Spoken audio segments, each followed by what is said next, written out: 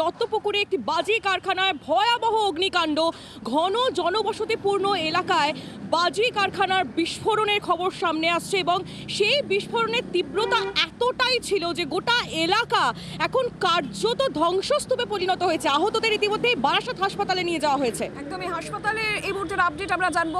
মৈত্রেই রয়েছেন সরাসরি। মৈত্রেই যারা আহত তাদের বারাসাত হাসপাতালে ভর্তি করানো হয়েছে। হাসপাতাল সূত্রে কি খবর পাচ্ছ?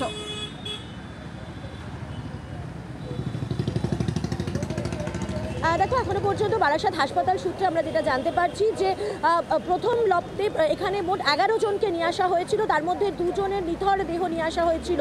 আহত যে নজনকে ভর্তি করা হয়েছিল, তার মধ্যেও একজনের মৃত্যু হয়েছে। আর আর কি, মাত্র কিছুক্ষণ আগেই কিন্তু আরও চারটি মরদেহ এখানে নিয়ে আসা হয়েছে এবং সেই দুর্ঘটনাস্থল থেকে নিয়ে আসা হয়েছে। ফলে হাসপাতাল এবং পুলিশ সূত্রে আমরা এখনও পর্যন্ত যেটা জানতে পারছি যে, এখনও পর্যন্ত বারাসাত হাসপাতালে যতজন এসেছেন, তার মধ্যে মোট সাত জনের আহ, আহ, মৃতদেহ এই মুহূর্তে এসে পৌঁছেছে। তার মধ্যে ছজন একেবারে ব্রড ডেড অবস্থায় তারা এসে পৌঁছেছেন এবং একজন হাসপাতালে আসার পরে তার মৃত্যু হয়েছে। বাকি আটজনের চিকিৎসা চলছে। তাদের প্রত্যেকেরই কম বেশি ইঞ্জুরি রয়েছে চিকিৎসকেরা দেখছেন। এবং আমি একবার হাসপাতাল চত্বরের ছবিটা একটু দেখাতে বলব আমার ক্যামেরা পার্সনকে যে এই এখানে কিন্তু প্রচুর পুলিশ মোতায়েন করা রয়েছে এবং একের পর এক অ্যাম্বুলেন্সে করে আহত এবং নিহতদের মরদেহ নিয়ে আসা হচ্ছে এখানে।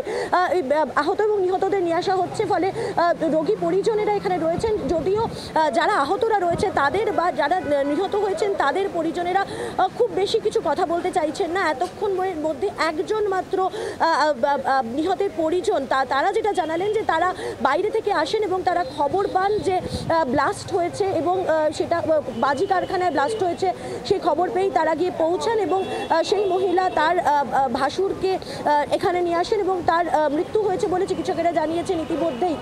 অর্থাৎ ব্রডের অবস্থায় তাকে হাসপাতালে নিয়ে আসা হয়। একের পর এক আমি আরেকবার দেখাতে বলব আমার জানতে চাইব ঠিক কতজনের দেহ আরও আনা হয়েছে হাসপাতালে?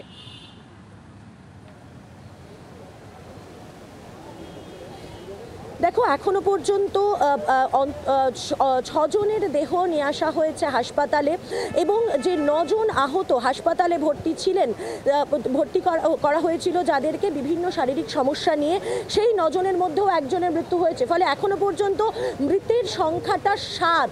এখনও পর্যন্ত পুলিশ এবং হাসপাতালের হিসেবে মৃতের সংখ্যা সাত এবং তার সঙ্গে সঙ্গে কিন্তু আহত রয়েছেন আটজন আহত তারা চিকিৎসাধীন রয়েছেন। বাংলার আওয়াজ বাঙালির আবেগ। জি চব্বিশ ঘণ্টা।